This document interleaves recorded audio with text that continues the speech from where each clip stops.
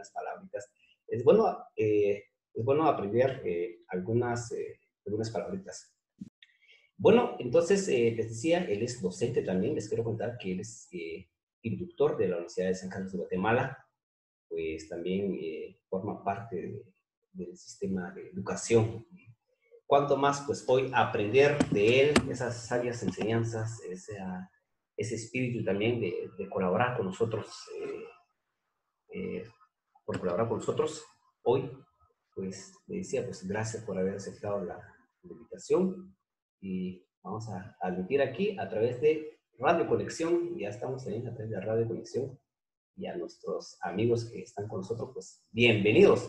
Así que le vamos a dar la bienvenida al maestro que está con nosotros hoy, les decía, él es eh, Elmer Giovanni Feliciano Cardona. Que le damos la bienvenida, vamos a dar el tiempo para que él también eh, se exprese y después iniciar con nuestro tema para hoy. Bienvenido, maestro Elmer Giovanni. ¿Cómo está? Bienvenido. Eh, chonte ja, ambel juntuman el olbeblugun te juhun keya no katla to juntuman liteya chinsala to machulkan kishola te qala han qonikin esh no katla to juntuman liteya to kichwinqala esh to kyagan eh, buenas noches, estimados profesionales, selecto grupo.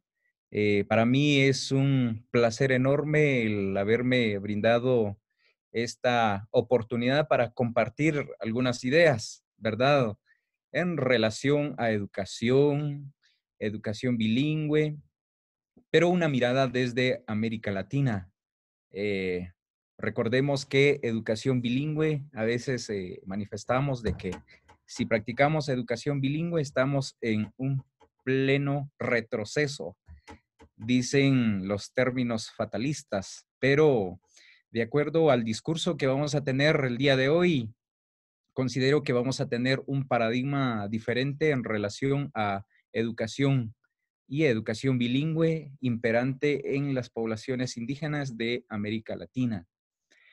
Eh, solo para recordarles, eh, yo les hablé en idioma mam, eh, son idiomas que, que se manejan a nivel nacional les voy a comentar una pequeña anécdota como un preámbulo de nuestro discurso el día de hoy. Abordé una camioneta para la ciudad capital, precisamente en Chimaltenango, y subió una persona de la cultura ladina y me preguntó, se sentó a la par y me preguntó, ¿cuál es su dialecto? Me dijo.